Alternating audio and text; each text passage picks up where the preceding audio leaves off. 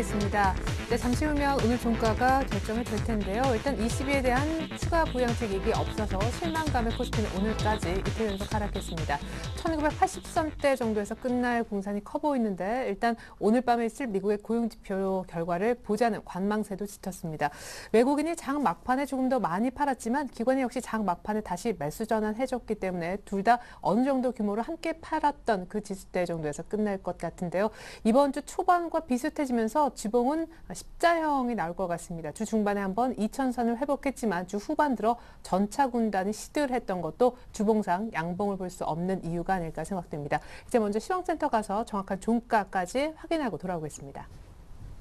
시황센터입니다. 미국과 유럽발 악재가 맞물리면서 코스피 지수가 이틀째 하락했는데요. 자세한 일중 흐름 확인해 보겠습니다.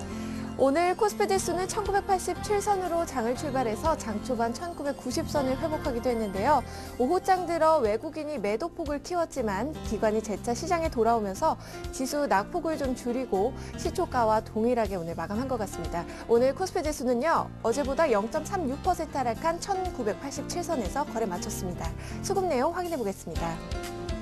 오늘 기관이 재차 매수로 전환하면서 개인과 동반 매수했고요. 반면에 외국인이 장중 매도로 전환한 후에 오후장 들어 좀 매도폭을 더 키웠는데요. 오늘 외국인을 통해서 1,400억 원이 넘는 매물이 출회가 됐습니다.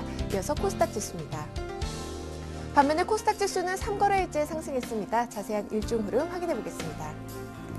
오늘 코스닥 지수는 소폭 상승 출발해 오후장 들어서 외국인과 기관이 동반 매수하면서 상승폭을 더 키웠는데요. 490선 회복에 좀 성공한 모습입니다. 오늘 코스닥 마감 지수는요. 어제보다 0.64% 상승한 490선에서 거래 마쳤습니다. 수급 내용 확인해 보겠습니다. 오늘 개인이 장중 매도로 전환을 했는데요. 반면에 외국인과 기관이 동반 매수로 마감했죠. 오늘 외국인을 통해서 103억 원의 매수 물량 유입됐습니다. 이어서 환율 흐름 살펴보겠습니다. 오늘 환율은 미국 고용 지표 발표와 유로존 정치 이벤트를 앞둔 경계심으로 이틀째 상승했는데요. 환율입니다. 어제보다 2원 30전 상승한 1131원 선에서 거래 마감했습니다. 이어서 코스피 시가총액 상위 종목 살펴보도록 하겠습니다. 삼성전자가 연일 신고가를 경신하면서 상승세를 달렸지만 이틀 연속 하락에 그쳤습니다. 오늘 조정폭이 좀 깊어 보였는데요. 2.93% 하락하면서 136만 원에 거래 마감했습니다. 현대차와 기아차도 오늘 부진했죠. 현대차 3.2% 하락했고요. 기아차는 2.55% 하락하면서 8만 300원에 종가 기록했습니다. 현대모비스는 장 막판에 상승 전환에 성공한 모습입니다. 오늘 강보합권에서 29만 4천 원에 종가 기록했습니다.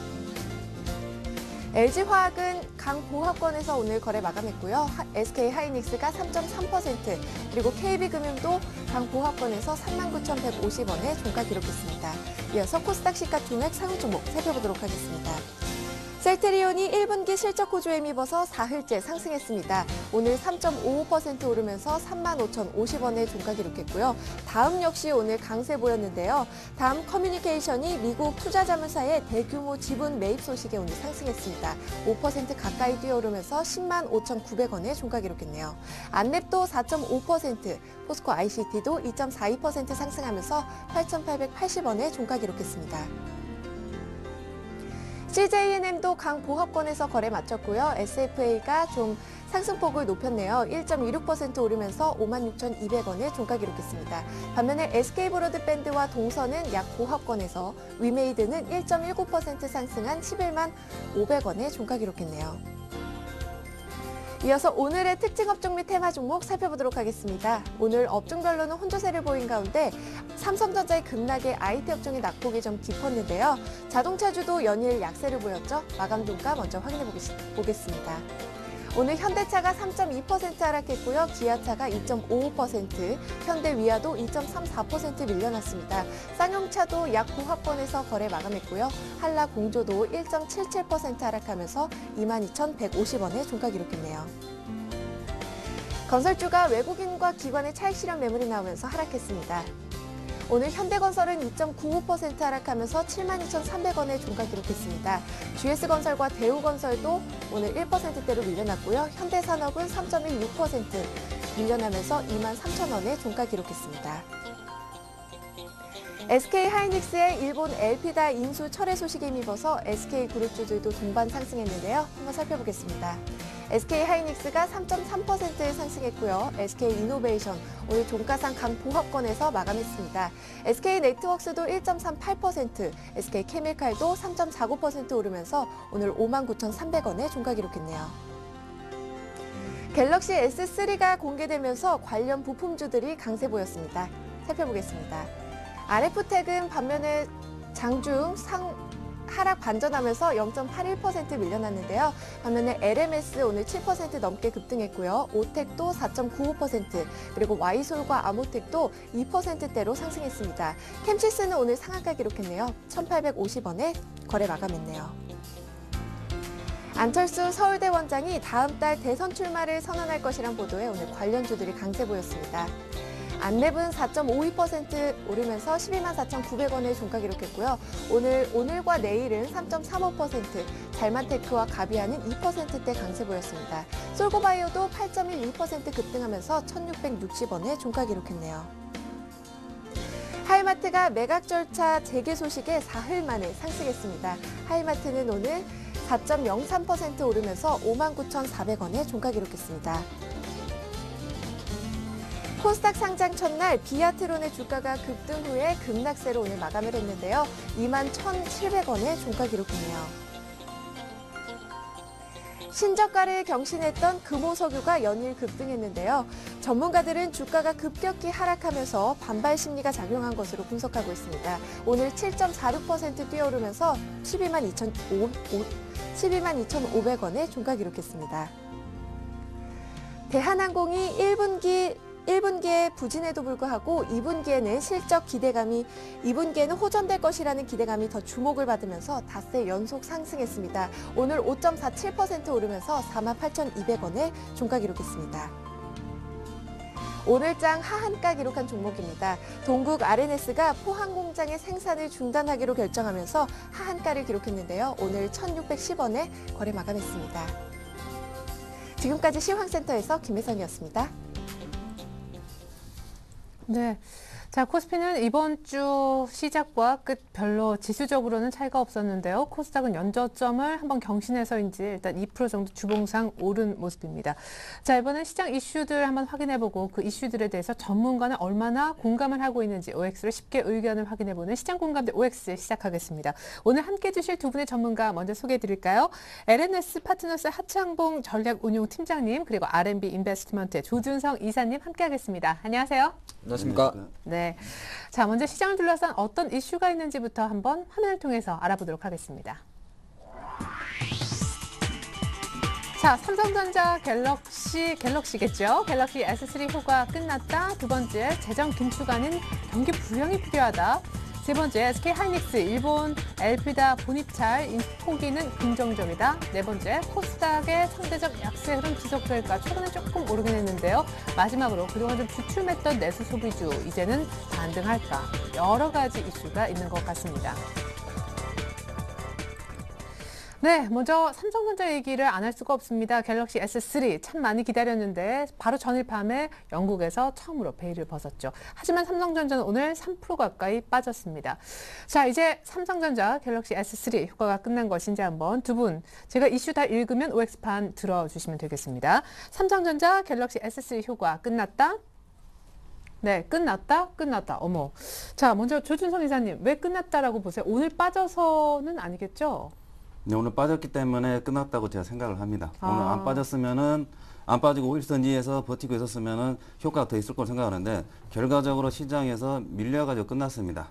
근데 중요한 거는 일단 애플과 삼성전자는 항상 애플과 같이 움직이는 그런 경향이 있죠. 그걸 같이 봐야 되는데 애플 같은 경우는 애플 아이폰 그 신제품이 이제 하반기로 이제 출시가 연기됐고 삼성전자는 이번에 5월 달에 이제 거기 출시를 했죠. 그러면서 사- 아이, 애플 같은 경우는 4월 달에 고점을 찍었고 삼성전자는 오늘 종가로 봐서는 5월 첫날 해가지고 고가 찍으면서 많이 밀리는 상황입니다. 그러게 되면은 무슨 얘기냐면은 지금 현재 삼성전자가 5월 2일 날 신고가 최고가가 나왔죠. 상장 이래 최고가가 나왔는데 이러한 영향이 갤럭시 S 때문입니다. 만약에 그렇지 않았으면은 애플 컴퓨터처럼 이게 3, 130만 원 초반대 움직일 만한 주식인데 그나마 엑- 갤럭시 S가 있었기 때문에 그나마 좀 나오지 않았나.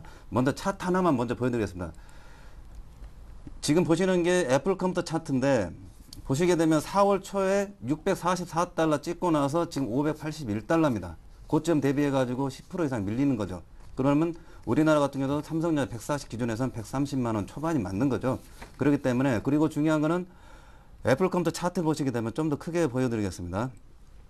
고점대에서 이게 뭐더 치고 나간다 이런 것보다는 이것도 상단이 어떤 벽이 상당히 두터워진다는 느낌이 많습니다. 그러면서 하단이 얼마만큼 지지가 되느냐 거기에 초점을 맞추는 거지 앞으로 644달러가 계속 뚫고 나갈 거다 이런 기대감보다는 어느 선에서 지지선들을 잘 확보하면서 힘을 굳혀가는 거 이런 쪽에다 초점을 맞추고 있습니다. 그렇게 되면은 삼성전자도 마찬가지로 이제 이 애플의 어떤 동자 현상의 그 주가의 어떤 그 가격대 같이 들어가게 되면은 이제 135만 원 이하나 130만 원 초반까지도 감안을 해야 된다. 그런 그런 말씀 먼저 드리겠고 또 그러한 가격 들으면은 삼성전자 같은 거 제가 누누이 말씀드리는데 요럴 때 한번 또 사보는 거죠. 136만 원은 먹을 게좀 적죠. 이게 13만 원짜리가 오늘 4천 원 빠진 겁니다. 근데 13만 원짜리가 한 14만 원짜리 돈만 원 빠져야지 좀 짭짤하게 먹을 수가 있는데 그렇기 때문에 잘 기다려 보면은 삼성전자도 130만 원 초반까지 좀 들어올 수 있지 않겠나 그 말씀을 효과는 끝났다라면서요. 네. 예. 효과가 끝났기 때문에 어떤 그 악재나 어떤 그 외부 상황에 좀 더 더 민감하게 이제 움직일 그런 게 좀 많은 많아 지는 거죠. 약해지 힘이 약해진다는 거죠. 예. 그게. 하지만 어느 정도 가격대까지 빠지면 또 조금은 올라올 거다. 대신 그거이죠. 갤럭시 S가 이게 3가 잘 팔리고 하면서 굉장히 그 호평이 나오는데 호평 나온 대로 소비자한테 정말 그렇게 잘 팔리게 되면은 그게 이제 다음에 이제 상승 파동에서 애플은 이제 추격할 수 있는 원동력이 되는 거죠. 근데 지금 같은 경우는 급하게 많이 올라온 거에 대한 어떤 나름의 어떤 받침대 역할이지 이게 견인차 역할을 하기에는 지금부터는 시각을 좀 약간 보수적으로 봐야 된다. 그 말씀을 드리겠습니다. 네, 이전에 삼성전자 같은 상승 탄력은 조금 기대하기 어려워졌다는 일단 그런 의견 들어봤고 아까 하창모 팀장님도 갤럭시 S3 효과 끝났다 삼성전자에 대해서 오 드셨잖아요. 같은 이유입니까? 오늘 빠져서 아, 일단은 뭐 사실 그 끝났다는 게 주가가 뭐 삼성 주가가 지금부터 계속 내려간다는 그런 의미보다는 네. 이제 이벤트 종료 때문에 또 한 번 삼성전자는 조금 쉴 수 있지 않을까 그렇게 아, 보겠습니다. 예. 물론 갤럭시 S3에 대한 어떤 판단은 사실 우리가 하는 게 아니라 시- 소비자들이 할 겁니다. 소비자들이 갤럭시 S에 어떤 국내 출시 후에 어느 정도 반응을 보일까. 사실 지금 많은 대기 수요가 상당히 많죠. 저 자체도 저도 지금 이제 한 할부가 스마트폰 할부죠. 5개월 정도 남았는데 기다리고 약정, 있었습니다. 예. 예, 할부 약정이라 그러죠. 어, 이왕이면 저도 생각이 있는데 일단은 국내 같은 경우는 아마 효과도 뭐투 못지않게 나올 수 있지 않을까 보겠습니다. 또 시간적으로 아이폰한테 시간을 좀 벌어놨기 때문에 예. 그 부분에 대해서는 긍정적 주는데 이슈를 잠깐 이렇게 이제 제가 오라고 말씀을 드린 거는 약간 그냥 주춤하다. 주춤하다는 건 별게 아니고요. 다시 한번 뭐 한 130만 원 초입 정도에서 좀 조정을 보일 수 있지 않을까 그런 말씀 드리는 것이고요. 차트 잠깐 보면 삼성전자는 확실하게 100만 원 넘고서 제가 좀 파동을 그려놨는데 한 다섯 번 정도 이벤트가 있었던 것 같습니다. 그래서 통상적으로 좀 오르다가 쉬었다 오르다 쉬었는데 3월달 접어들어서 120만 원대 와가지고 4월 말까지는 사실 다이렉트로 올랐습니다. 그때 이제 외국인 매수 강력히 들어왔었고요. 네. 물론 이때 오를 때는 1, 4분기 실적에 대한 기대감이 올랐습니다. 그래서 그렇죠. 4월 4월 6일 날 어, 1, 4분기 실적 컨셉 가이던스를 발표하고 나서 조금 쉬었고 4월 중순 이후에 제가 표시를 해놨는데 이때부터 오른 거 한 4월 24일부터 125만 원부터 140만 원까지 오른 거는 바로 어제 출시된 갤럭시 S3에 대한 기대감이라고 저는 볼 수가 있습니다. 그래서 지금 현재 약간은 조 이사님이 아까 본 대로 애플의 주가와는 조금 상반된 흐름, 삼성전자 조금 더 좋은 흐름을 갖고 있습니다만은 그 흐름을 저는 상대 비교하는 거는 조금 문제가 있다 생각을 하고요. 채권이 좀 다르게 보는 것이고 실제적으로 삼성전자 같은 경우는 지금 단기 수급적으로 외국인들이 조금 팔아서 그렇습니다. 한 7만 주 그쵸. 팔고 있기 네. 때문에 오늘도 한 7만 주 이상 팔았죠. 실제적으로 130만 원에서 140만 원까지 올린 거는 외국인 세력이었기 때문에 이 친구들이 잠깐 차익 욕구 들어갔지 않나 보겠습니다. 그래서 주춤하다는데 동그라미는 들었습니다만은 다시 한번 또 한 135만 원 정도에서 대기 수요가 있기 때문에 일단 이벤트만 끝난 것이 이 주가가 이벤트만 끝난 것이지 주가가 바로 내려가지는 않는다. 그리고 기술적으로 아까 말씀드린 애플의 주가가 이렇게 꺾였다고 내려간 거하고는 조금 접근은 다를 수 있지 않나 보였고요. 조금만 더 첨언하자면 애플이 조금 내려가는 건 사실 이것도 있을 겁니다. 어, 페이스북이 5월 달에 나스닥에 상장됐던 이하에 계속 나오기 때문에 그 부분 때문에 어, IT 주엔 포트가 좀 주중되는 것도 있다. 저는 그렇게 해석을 해보겠습니다. 예, 좋습니다. 자, 우리 조준성 이사님께 제가 추가 질문 좀 드리고 싶은 부분은 갤럭시 사실 삼성전자 지금 뭐 매매하신 분들보다는 갤럭시 네. S3 관련 수혜주로 이제 부품주 들어가셨던 분이나 혹은 지켜보시는 분들이 더 많으실 것 같아서 그 관련 부품주들 예, 대응법 좀 알려주셨으면 좋겠어요. 일단 대표 종목들을 보게 되면 인터플렉스나 뭐 우주 일렉트로닉스, 알- RF텍 이러한 종목들이 있는데 이러한 종목들 보게 되면은 요거 같은 경우도 4월달 고점을 어떤 상단의 청정을 만들어 놨습니다. 그러면서 오늘 또 그쪽을 넘지 못하고 뭐 쉽게 그냥 인터플렉스 한번 보겠습니다. 인터플렉스 차트를 보시게 되면은 지금 4월 20일 날 고점 있죠? 4월 20일 날 고점.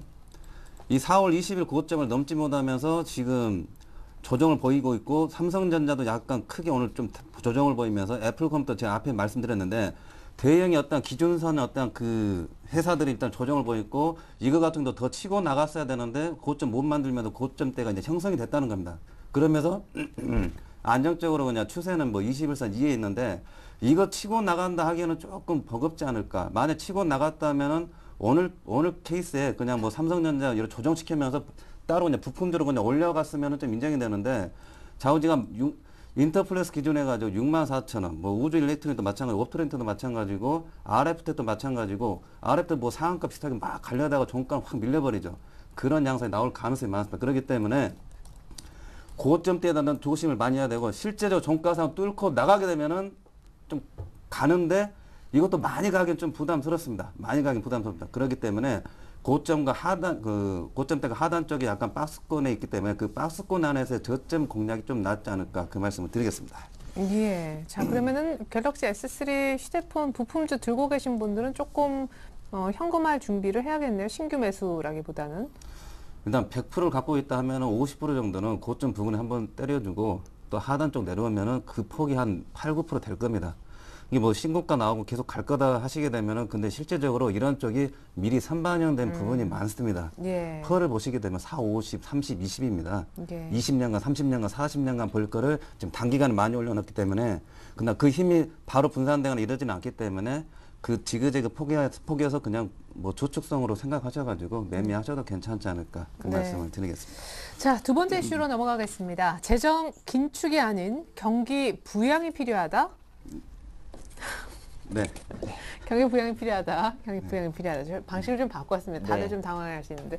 자, 경기 부양이 필요한 건 사실은 간밤에 유럽만 보더라도 지금 긴축과 성장 얘기가 많지 않습니까? 드라기 총재도 뭐 성장 쪽에 조금 얘기를 해서 뭔가 좀 추가 부양 얘기가 나오겠거니 했는데 싹 얘기가 없었어요. 네. 지금 이 이슈 같은 경우는 굉장히 중요한 이슈가 앞으로 제가 방송 나오면서 누누이 말씀드릴 건데 앞으로 종합주가지수 향방에 있어서나 전 세계 향방에 있어가지고 굉장히 중요한 문제입니다. 긴축이냐 아니면은 부양 쪽으로 가느냐에 있어가지고 굉장히 문제가 거기 심각하게 생각을 많이 해야 됩니다. 그동안 지수가 이제 힘을 이제 모아가고 있는 상황에서 어, 일단 간단히 말씀드리면은 긴축을 하게 되면은 만약 이번에 프랑스 올랑드 쪽이 하게 되면은 부자 중심으로 세금을 늘려서 재정 지출을 확대하겠다. 지금 유럽권이 좀 마이너스입니다. 마이너스권인데 돈을 더 GDP 대비해 가지고 감축에 들어가게 되면은 돈을 풀어줘야지 경기가 좀 살아난다든지 효과가 있을 건데 안 좋은 상황에서 긴축을 해 가지고 재정 지- 재정 그 맞추게 하게 되면은 더 안 좋은 거죠. 그러니까 더 공격적으로 해 가지고 세금 늘리고 좀 부자들이 힘들겠지만 세금 세금 늘려 가지고 나중에 그게 국가적인 이제 차원이 좋- 좋은 거니까 세금 늘려 공격적으로 하는 게 좋은데 그러면 문제 또 생기죠. 만약 이제 정치적인 이제 유럽과 유럽권에서도 이제 선거가 이제 계속 있는데 신재정 협약이 흔들립니다. 그러면은 엊그제 어제 오늘 새벽에는 어제 새벽에 또 스페인이 최저점이 또 나왔습니다. 그러면서 유럽바라고 이제 신재정 협약이나 이제 유럽바 유럽이 아니라 제가 전에도 말씀드린 고라파드가 되는 거죠. 협약을 다시 해야 되는 막 혼란이 많이 생길 겁니다. 그러면서 긴축도 정답이 아니고 이게 부양도 정답이 아닙니다. 지나고 나봐야지 결과가 나오는데 다 모험인데 어떻게 보면은 우리 쪽에 생각하면은 양적 완화를 원하듯이 부양 쪽 이제 원하는 거죠. 경기가 막 그렇게 살아나지 않으니까. 근데 이렇게 가면서 그냥 경기가 뭐 살아나게 되면은 좋겠지만 지금 그렇지 않은 불안감 굉장히 많이 상존하고 있습니다. 그렇기 때문에 Q3, Q3 그냥 자꾸 떠드는 거죠. 이러한 상황에서 긴축이 아니 또 한마디 더 말씀드리면 화학업종 보시게 되면은 이따 또 화학업종 말씀을 드리겠는데 중국이 부양을 안 하니까 화학업종 작살 나지 않습니까? 반, 고점 대비해가지고 금호석 이번에 10만 얼마까지 빠졌죠? 고점 대비 반토막 나고 그런 험악한 뭐 이런 주가 상으로도 힘든 그런 상황이 나올 수 있습니다. 그렇기 때문에 긴축과 부양에서 그 단을 잘 생각하시고 앞으로 이게 계속 하도가 될 겁니다. 이제 2분기 이제 한 1개월 지났는데 2분기, 3분기, 4분기 화두는 긴축과 이제 확 부양 쪽으로 이제 잘 생각을 하셔야 되고 그런 부분에 있어 가지고 계속해서 이제 그런 걸 또 5월달 잘 이용해 가지고 또 뭐 시속 게임을 좀 잘 할 수가 있습니다. 그 말씀만 드리겠습니다. 네.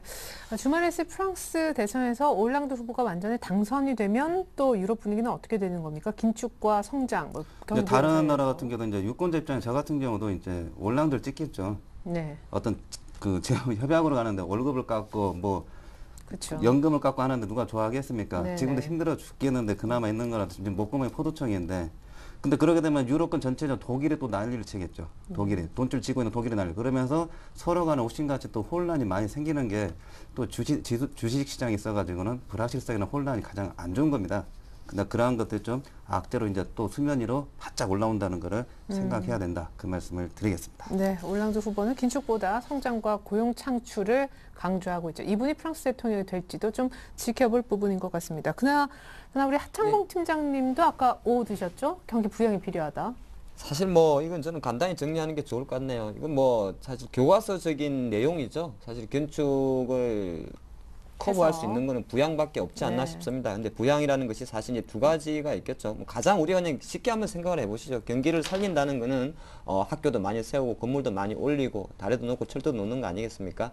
그런 것 자체가 사- 사실은 와닿았을 때 경기 부양인데 지금의 이제 세계 경제에서 나오는 경기 부양은 지금 제가 말씀드린 이런 부양이 아니라 계속적인 침체 속에서 약간 소비를 풀어주고 이런 부양을 할 수가 있습니다. 그래서 뭐 약간 가장 이상적인 부양은 사실은 집도 짓고 학교도 건설하고 이런 건데 요거는 이제 이런 시대는 갔죠. 세계 경제 성장률이 계속 하락하니까 전반적으로 조금 전에 말씀드린 대로 어느 정도 위축된 상태에서 그래도 경기를 부양하려고 그러면 소비가 받침이 돼야 되는데 지금 세계적인 그 아무리 유럽에서 지금 돈을 풀고 하더라도 만약에 소- 대표적인 소비 국가 미국이라든지 중국의 소비 위축이 잠 온다면 사실은 별 의미가 없습니다. 근데 지금 어, 미국이나 중국의 소비 지표가 그렇게 좋지는 않죠. 어저께 미국의 그 ISM-P 제조업 지수 어떻게 보면 소비를 나타내는 지수를 할 수 있는데 이것이 조금 내려갔다는 거좀 생각할 수 있을 것 같고요. 중국 같은 경우도 사실 경기 자체가 워낙 고성장 이후에 후폭풍이기 때문에 소비가 그렇게 확 좋아지지는 않습니다. 그래서 저는 뭐 가장 기, 기본적으로는 당연히 부양 필요하죠. 부양이 필요한데 유럽 쪽에서 아무리 부양하려고 그래도 대표적인 소비국가 미국과 중국이 어, 어느 정도 받아주기 힘들다 그랬을 때는 효과는 좀 약하다. 그래서 전반적으로는 오히려 미국이나 중국이 오히려 유로존 부양 효과를 조금 가로막고 있지 않느냐, 거부하고 있지 않느냐, 그렇게도 한번 접근을 해보겠습니다. 네, 그래서 미국이나 중국에서 먼저 부양 얘기가 나와줘야 유럽도 발을 맞출 것이다. 순서적으로 그런 언급도 있는 것 같습니다. 자, 세 번째 이슈로 넘어가겠습니다. 국민주라 불리는 하이닉스에 관련된 오늘 이슈가 하나 있었는데요. 두 분의 의견 역시 예, 어, 한번 보도록 하겠습니다. 제가 어, 이 이슈를 읽으면 OX판 들어주시면 좋겠습니다. SK 하이닉스 일본 엘피다 인수 포기는 본입찰 인수 포기죠. 긍정적이다. 긍정적이다. 야, 긍정적이지 않다.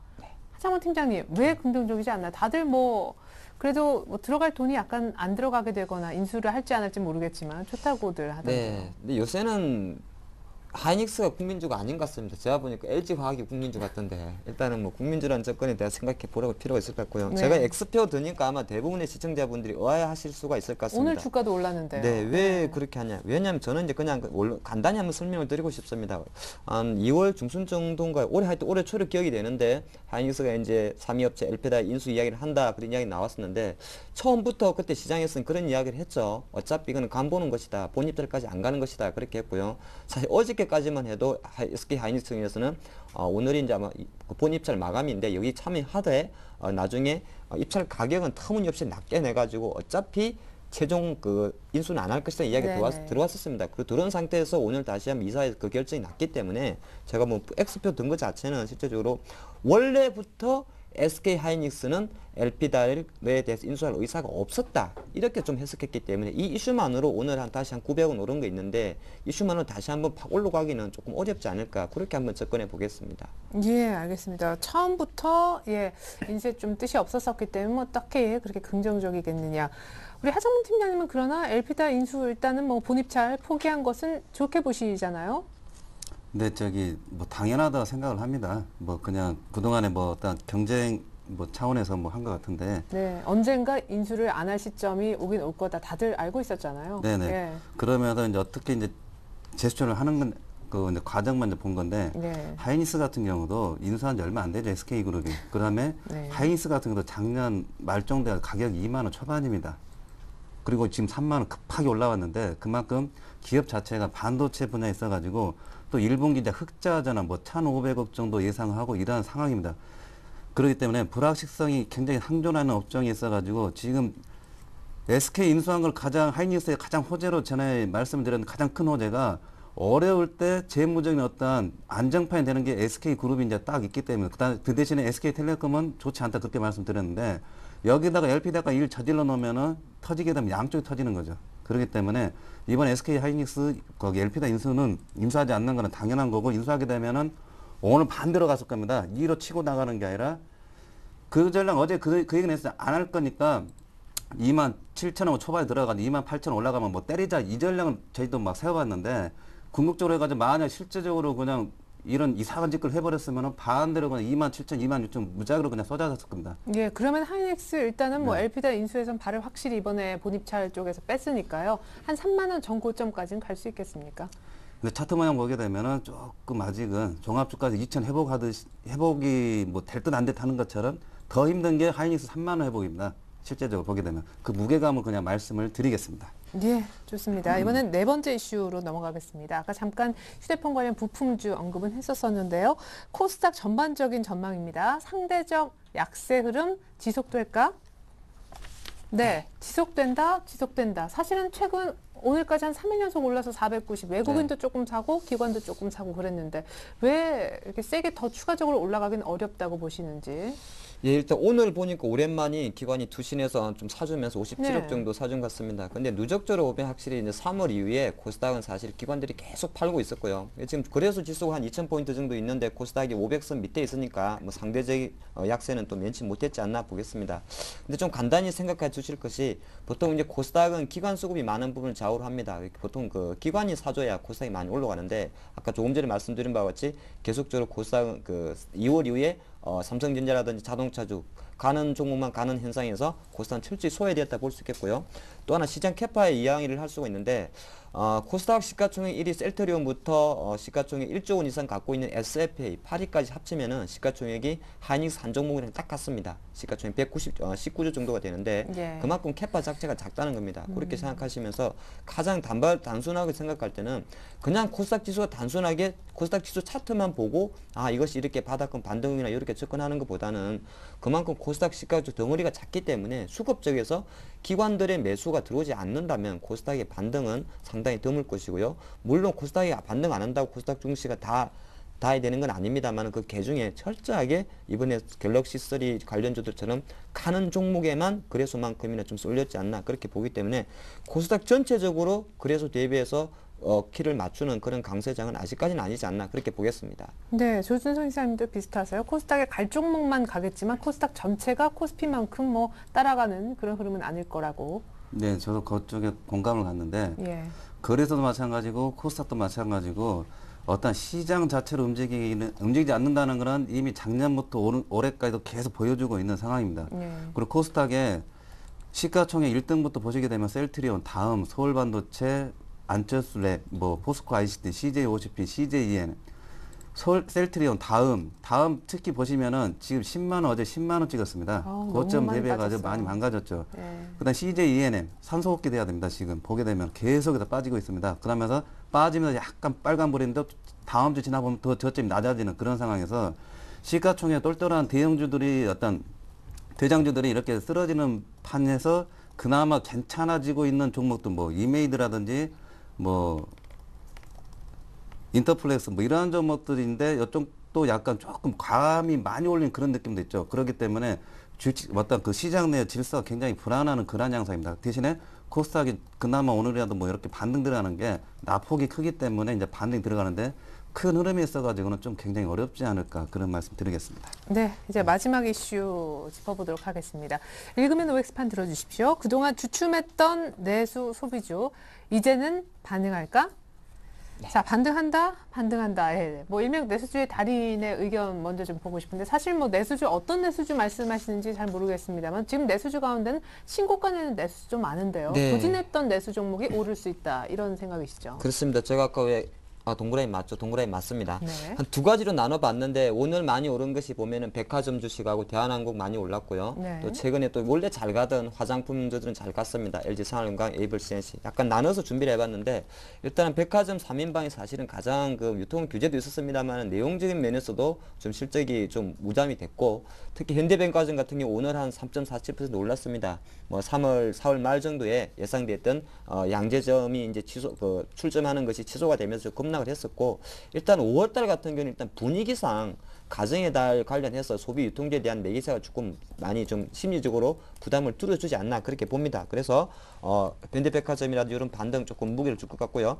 대한항공도 오늘 반등이 좀 많았는데 역시나 실적 발표 적자가 980억 나와버렸죠. 그러니까 실적을 떨어버리니까 주가 기술적 반등에 좀 들어갔지 않나. 뭐 사실 관광객이 많이 들어와서 주가 올라가는 그런 기대감은 심리적인 요인이고 1, 4분기 실적 980억 적자가 나왔는데 400억 정도는 전기 보수 비용이었다. 그래서 그나마 2, 4분기에 조금 좋아지지 않을까의 점수를 준 것 같습니다.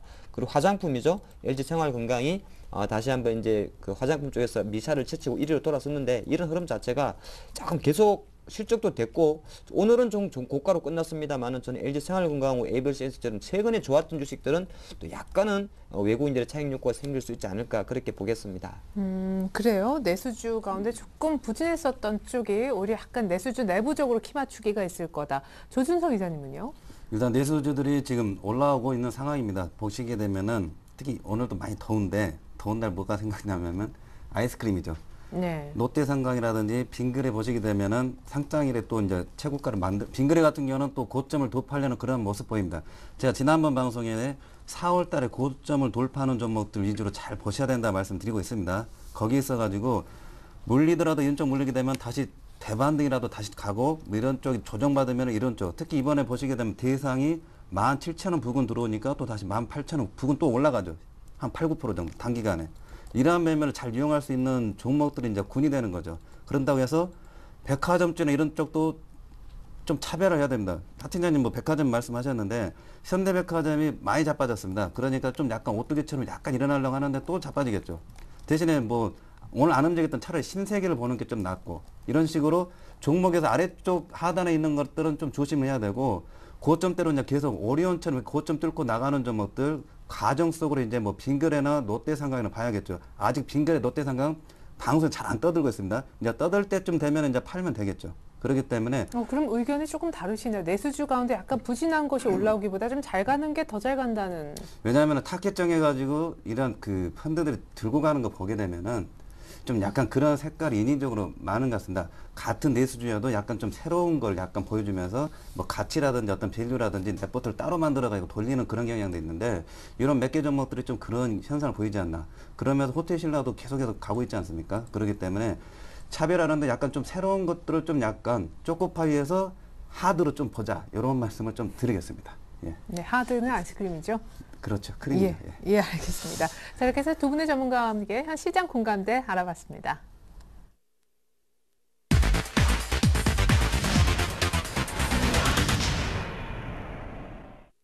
네, 계속해서 다음 주 전망과 전략 세워보는 해결의 키 시간 이어가도록 하겠습니다. 하창범 팀장님, 일단 야, 주말에 좀 잘 보내야 될 것 같아요. 그리스 총선, 네. 프랑스 대선 결과부터 봐야 되지 않습니까? 일단은 오늘 밤도 잘 새야 됩니다. 그렇죠. 어제 이제 미국의 고용 동향이 네. 조금 불안하게 징조를 좀 나타냈기 때문에 오늘 밤 미국 시장 좀 고용이 조금 회복되는지 한번 보셔야 되고 근데 조금 또 저는 마음을 놔도 될 것이 요새, 요새 재미난 것이 미국이 좀 지표가 안 좋게 나오면은 경기 부양 효과에 대한 가- 이 내용을 갖다 붙이고 곧바로 번외기. 네, 그런 이야기 나오기 네. 때문에 뭐 사실은 이제 미국 그 체크는 해보시는데 너무 걱정할 필요는 없을 것 같고요. 아무래도 5월 6일 날 아, 이제 프랑스 대선, 뭐 그리스 총선이 있는데 이게 이제 우리나라 5월 7일 날 반영이 되겠죠. 아침 정도에 반영이 될 건데 요 부분이 글쎄요, 뭐 어떻게 나오든 간에 주 초반은 약간의 시장에 변동성을 줄 수 있지 않을까 보겠습니다. 물론 아, 대통령 뭐 바뀐다고 어떤 기존에 갖고 있던 정책이 한 번에 바뀌지는 않습니다만은 약간은 동요가 생길 수 있기 때문에 주 초반에는 좀 그런 변동성 생각해야 될 것 같고요. 지금 종합 주가 지수가 상당히 몰려 있습니다. 몰려 있다는 것은 지수 기준으로도 한 1985포인트고 제가 차트 표시를 해놨는데 어, 많은 이동 평균선들이 가만히 수렴해 있죠. 그리고 다음 주가 또 만기주다 보니까 약간 단기적인 선물 세력이라든지 또 주식 세력이 상당히 숏커버링 그 단타 매매가 좀 잦을 수가 있습니다. 특히 기관 쪽이 그런 거 많죠. 뭐 화학도 지금 들어왔다가 또 다음 주는 어, 일시적 차익 실현하고 네. 또 빠진 종목에 순환매를 파는 흐름이 있기 때문에 우리 투자하시는 분은 또 다음 주 같은 경우 일단 변동폭을 조금 열어두고요. 지금이 또 프로 야구의 시즌 아니겠습니까? 그래서 제가 그 멘트 조금만 쓰겠습니다. 네. 어, 어, 2루타, 3루타 치는 거 하지 마시고요. 기습번트 스키지라도 좋으니까 방맹 짧게 잡고 단타라 그러죠, 단타. 네. 주식 단타 말고 이제 안타 단타, 단타라든지 도루 이렇게 싹 틈을 노리다가 사삭 뛰는 그런 전략이 네. 다음 주 좀 필요하지 않나 보겠습니다. 예. 자, 조준성 이사님도 뭐 하나 멋진 비유로 전략 풀어주셨으면 하는 바람이 있는데 다음 주에는 2,000원에 좀 올라서서 안착할 수 있을지 확실히 주말에는 고비인 건 같은데요. 네, 앞으로 고비인데 하틴전이 참 우리 일반 투자자들한테 굉장히 어려운 거를 원하는 것 같습니다. 안타 치기도 힘든데 네. 안타 치고 나서 또 도루까지 하라니. 예, 원래 음. 안타 치면 도루 하잖아요. 네, 일단 가봐야지 한번. 예. 네, 죽더라도 한번 가보고 나서 어차피 예. 나갔으니까. 예, 네. 적절한 비유 예. 부탁드릴게요. 아, 적절한 비유는 생각이 안 나고 좀 약간 머릿속이 많이 복잡합니다. 2천선은 찍고 내려갔다 생각하는데 진짜 찍고 내려왔는데 이번 주 보게 되면은 지금 아까 앞에 말씀드렸듯이 스페인 증시가 최저점 갱신되고 뭐 유럽이 또 혼혈의 조짐을 보여주고 있습니다. 지금 유권자들이 흔들리고 있고 그다음에 최근에 외국인 매매들이 굉장히 불규칙하죠. 그렇기 때문에 시장이 뭐 올라가는 척 하다가 종가는 밀리고 또 많이 빠진 척 하면서 또 잠깐 종가 또 맞춰주면서 이런 불규칙 매매 패턴이 많습니다. 또 다음 주에 이제 옵션 만기도 있는데 또 올라가려고 하면은 삼성 그룹주 펀드에서는 또 펀드 하면 계속 이루어지니까 뭐 운영하기 힘들다 그런 얘기도 나오고 있고요. 이게 여러 가지로 그냥 좋은 쪽보다는 약간 불편한 얘기들이 많이 있는 것 같습니다. 그러나 그래서 다음 주도 마찬가지지만 제가 이번에 하악주를 잘 보시라고 하시면서 하악주를 공략을 해봤는데 이렇게 매매를 잘 하- 해보셔야 됩니다. 매매를 무슨 얘기냐면은 지금 하악주 같은 경우도 제가 지지난주 해가지고 4월 20일 종가는 나올 거다 말씀드리면서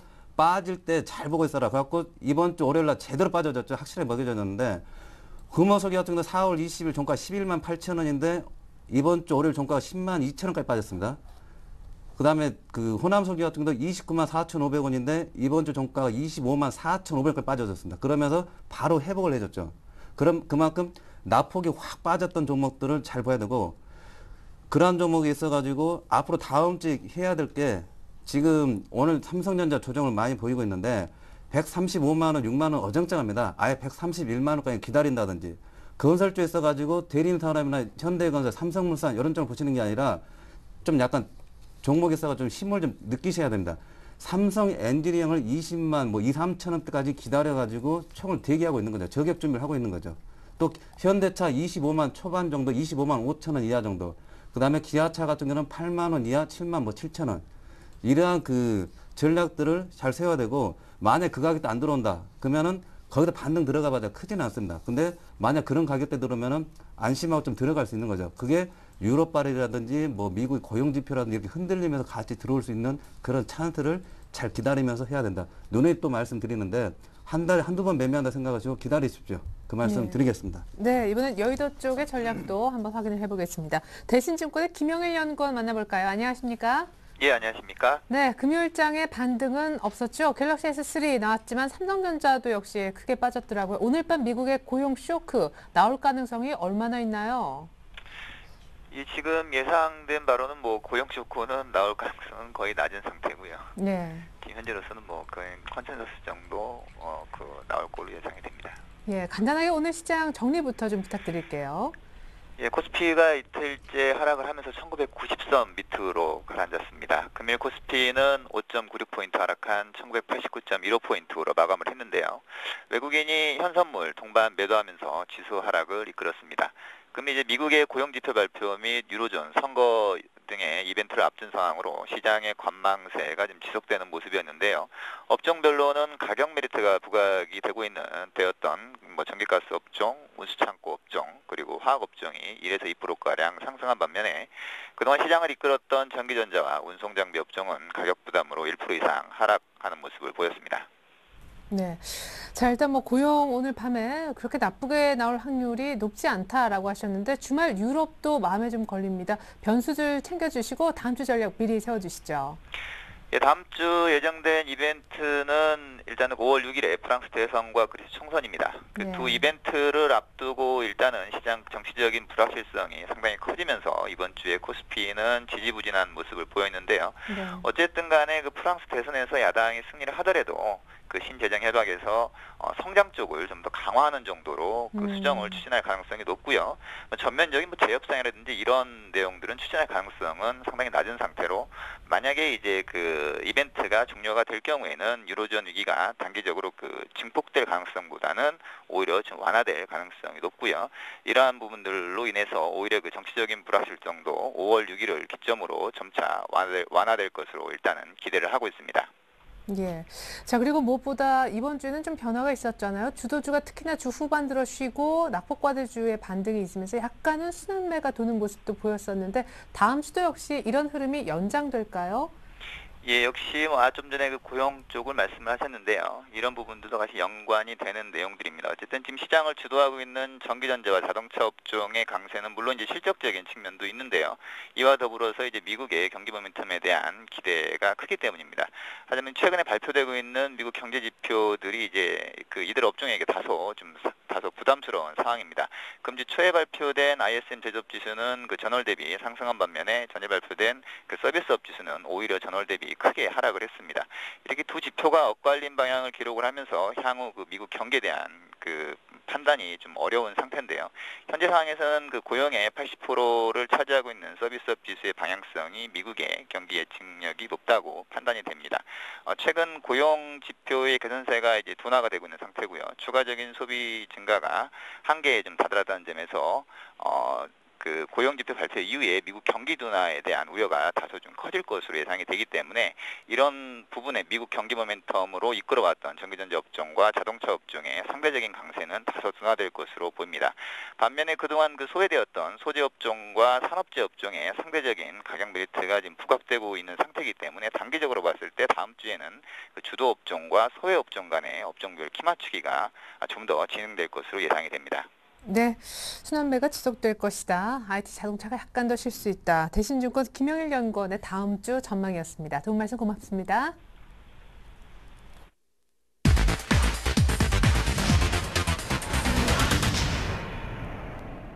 네, 이번엔 스윙을 펀치 시간입니다. 지난주 하창봉 팀장님과 조준성 이사님이 대결을 펼치고자 했던 한 종목씩 아, 과연 누가 더 높은 수익률을 거두었을까요? 화면을 통해서 먼저 그 결과 보겠습니다. 자, 조준성 이사님의 호남석유냐 아니면 하창봉 팀장님의 삼성 중공업이냐 누가 더 많은 수익을 냈을까요? 승자는요? 와, 조준성 이사님 축하드리겠습니다. 고점 대비 또 오늘이 가장 아, 높은 고점이었었는데요. 아주 의미 있네요. 7%가량 수익이 났습니다. 예, 호남석유 뭐 오늘도 보니까 한 29만 원 정도 는 올라와 주더라고요. 네. 고점이 29만 4천 원까지 좀 기대를 해봤는데 약간 네. 4천 원 부족했는데 호남석유는 그냥 먹는 겁니다. 자신 있게. 그거는 이제 감남과 감 떨어지는 건데 그건 주워 먹어야겠죠. 대신에 화학업종을 얘기하기에는 제가 전에도 말씀드렸듯이 좀 더 지켜봐야 된다. 중국이 가장 중요합니다. 그러면서 일단은 이 가격대에서 뭐, 이- 뭐 1950선 이상에서는 25만 원 보기는 좀 힘들겠지만 네. 앞으로 불확실성이 많이 있습니다. 그래서 뭐 좀 더 가져가실 분이 있더라도 좀 절반 정도 이익 실현을 해놓고 저도 전구자 다 수익 났습니다. 이번에 30만 원부터 사 들어갔던 종목까지도 25만 천 원까지 깔아봤는데 이만큼 뭐 단기간에 짭짤하게 수익이 나는데 절반 정도 이익 실현을 한다든지 해놓고 나서 나머지 부분은 뭐, 뭐 30만 원 부분이라든지 뭐 30 최대 한 30, 단기전 31만 원까지도 보는데 일단 좀 적절히 조절하시고 화학업종 같은 경우는 좀 조심해야 됩니다. 앞으로 만약 시장이 흔들리게 되면은 오늘 건설주 조금 흔들렸죠. 예, 맞아요. 앞으로 또 그렇게 많이 흔들릴 가능성이 많은 업종이 또 화학업종이라는 그러니까 수익 나면은 현금화를 조금. 현금화 시켜놓고 대신에 또 이런 가격대 들어오게 되면은 아직 5월 달까지 괜찮습니다. 계속 저격할 수 있는 그런 종목군이기 때문에 치고받고 하십시오 말씀을 드리겠습니다. 네, 강남의 저격수 우리 조준성 이사님이 호남석유로 어, 일주일간 6% 이상 수익을 내셔서 승리하셨습니다. 하지만 하창봉 팀장님의 삼성중공업도 뭐 주간 고점으로 계산해 보니까 한 4.6% 나쁘지 않았는데 매수가가 약간 갭상승한 걸 잡아가지고 그게 좀 아쉬웠어요, 사실. 제가 그날 시간에 종가를 사고 싶었는데 못 샀죠. 어쨌든 중요한 거는 일단 순환매가 다음 주도 조금 돌 거라는 겁니다. 삼성중공업 같은 경우는 오늘 종가에 한 4만 2천 원 정도 마감을 했는데 어, 어차피 뭐 삼성제 자동차 조금 쉬면 조선제 반등세 조금 될 것이고요. 수주 모멘텀 때문에 조금 조정을 봐했습니다만은 가격적으로도 수급적으로도 나쁘지 않습니다. 기관들이 그나마 계속 매수를 해주고 있기 때문에 다음 주 다시 한번 제가 처음에 제시해드렸던 4만 3천 원 이상까지 보면서 조금 더 홀딩하는 전략이 맞지 않나 보겠습니다. 네, 좋습니다. 자, 그렇다면 두 분이 오늘 어떤 종목 갖고 나오셨는지 화면을 통해서 먼저 한번 확인을 해볼까요? 자, 승리하셨던 조준성 이사님이 이번 주에 준비하신 종목은 기아차이고요. 하창모 팀장님은요. 아, 갤럭시 S 부품주인 RF텍을 준비해 오셨습니다. 자, 기아차냐 RF텍이냐 이런 싸움이 될 텐데 먼저 승리하셨기 때문에 조준성 이사님이 기아차를 꼽아오신 이유부터 들어보죠. 일단은 삼성전자, 현대차, 기아차 이런 대형 어떤 주도주에서 가장 고점대에 많이 빠진 종목이 기아차입니다. 많이 빠진 쪽을 잘 봐야겠죠. 어차피 정고점 부분 또 간다고 생각하셔가지고 뭐 K9 보니까 차 멋있더라고요. 한번 사, 차, 사보고 싶은 차인데 일단 그걸 떠나가지고 가격 대비로 잘 접근하셔야 됩니다. 호남수기와 비슷하게 8만 원 초반에는 별 메리트가 없습니다. 근데 이러한 종목이 기아차가 7만 7천 원, 7만 6천 원, 7만 5천 원 들어오면은 고맙습니다. 이렇게 하셔야 됩니다. 적어도 8만 2, 3천 원 다시 갑니다. 그렇기 때문에 8만 2, 3천 원 기준에 가지고 7만 7천 원, 7만 6천 원은 메리트 있는 가격이다. 대신에 갭이 있어가지고 시초가이기 때문에 약간 불리하고 RF 때 보니까 크, 오늘 고점 밀린 거 생각하니까 좀 불리한데 일단 기아차는 8만 원 이하로 좀 메리트 있게 생겨가지고 3단계라든지 5단계라든지 가격대를 뭐 7만 8천 원, 7만 7천 원, 7만 6천 원, 7만 원 이렇게 분할을 쭉 나눠가지고 한번 사보십시오. 그러고 네. 나서 다음 주 한번 지켜보겠습니다. 네, 단기 조정폭이 아주 매력적이다. 기아차 설명이었습니다. 한 전고점 8만 4천 원 정도 이상 가주지 않을까 이유였습니다. 자, 이번에 하창봉 팀장님이 준비하신 종목 RF텍. 네. 뭐 자꾸 조준성 이사님 잠깐씩 거론을 해주시는데요. 네, 일단은 뭐 RF스택 오늘 많이 올랐다 빠졌습니다. 삼- 대표적인 삼성전자향 어, 휴대폰 충전기 관련 회사라 보시면 될 것 맞아요. 같죠. 이번에 무선 충전. 네, 그래서 이번에 가장 무선 충전 기술이 원래 뭐 올해 처음 나온 건 아니고 벌써 1, 2년 전부터 시판됐었는데 또 네. 이번에 또 좀 시장에 대해서 주목을 좀 받지 않을까 보겠습니다. 그 요 종목 같은 경우는요, 사실 제가 목표가는 만원 이상까지 보긴 봅니다만 시간은 좀 걸릴 것이고 아까 시장에도 말씀드렸듯이 다음 주는 번터 작전입니다. 번터 안타가 아닙니다. 번터 작전으로 상당히 단기 공략 주간 5% 컨셉으로 좀 뽑아왔다. 그래 말씀드리겠습니다. 그래서 내용적인 면에서는 조금 전에 말씀드린 대로 무선 충전기라든지 또 그런 거 체크해 주시고 약간 지금 단타를 한다 그래도 사실은 이렇게 고가권에 있는 종목이 오히려 맞지 않나 그런 말씀드리겠습니다. 그래서 제가 매수 가격 을 지정을 해드릴 거니까 음, 매수- 한, 네, 한 7,150원부터 오늘 종가를 할 수 있는 7,350원 정도가 매수 가격이 될 것 같고요. 손절 라인은 6,500원입니다. 근데 종목은 실제적으로 손절 라인을 조금 잘 지켜주셔야 되죠. 왜냐하면 고가권에 있지만은 약간은 밀릴 수도 있기 때문에 철저하게 어, 7,200원 전후에서 사긴 사는데 6,500원 정도 오게 되면 산 물량의 반 정도는 무조건 손절해 달라 말씀드리겠고 목표가는 다시 한번 사실 9,500원까지 좀 잡는데 뭐 목표가 자금 자체는 8,000원대 돌파한 이후에 추가 AS가 필요하지 않나 말씀드리겠습니다. 네. 아니 근데 오늘 일단 한 8천 원 부근까지 한 8% 가까이 올랐다가 7% 이상 올랐다가 약보합에 끝났단 말이에요. 이럴 때는 그 다음에 매수 가격을 어떤 식으로 잡아야 됩니까? 네, 일단은 뭐 우리가 기다리는 입장에서는 상당히 고맙죠. 네, 차트는 이런 건 사실 안 좋은 차트입니다만 새로 신규 매담을 가, 그, 가담하실 분은 상당히 고맙습니다. 왜 그러냐면은 이게 분봉이라 보시면 좋을 것 같은데요. 제가 주식 방송하면서 분봉까지 다 보네요. 예. 12시 이후부터 빠졌습니다. 그래서 아까 말씀드린 대로 단기 세력들이 일시적 차익 실현이 나온 것입니다. 그래서 이런 조- 종목 같은 경우 일시적으로 내일 아침에 갭 상승이 잠깐 나왔다가 한번 더 밀릴 수가 있습니다. 그래서 아까 제가 말씀드린 대로 어, 매수 밴드 자체를 딱 오늘 종가부터 아래 위로 갭 상승부터 1150원까지 열어두는 전략이 맞다. 즉 내일 아침에 제가 제시해드리는 가격 자체가 아, 월요일이네요. 제시해드리는 가격이 어, 지금 종가 기준으로 플러스 마이너스 200원이기 때문에 실제로 분할할 때도 한 200원 단위로 아, 200원이 아니라 2차 단위로 그렇게 사는 게 맞다 볼 수 있겠습니다. 네.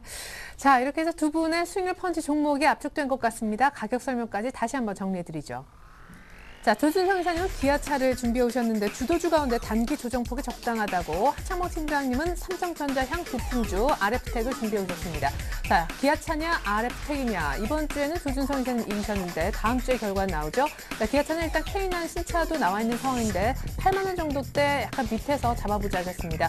8만 4천 원 전고점 이상을 기대하고 계시고요. 어, 그에 반면에 하창모 팀장님의 RF텍은 오늘 급등했다가 약보합으로 끝났는데 매수가를 좀 잘 봐주십시오. 7,200원 6,200원 전후에서 분할 매수 들어가시면 좋겠고 목표가는 또 다른 신고가 그리고 손절가는 6,500원 라인에서 적어도 터치하면 반 정도는 현금화 얘기하셨습니다. 네, 이렇게 해서 두 분의 수익률 결과는 다음 주에 공개됩니다. 많은 기대 바라겠습니다. 두 분 도움 말씀 고맙습니다. 네, 이상으로 오늘자 날장 2부 마칩니다. 내일은 어린이의 날이네요. 저는 다음 주 월요일에 다시 오겠습니다. 고맙습니다.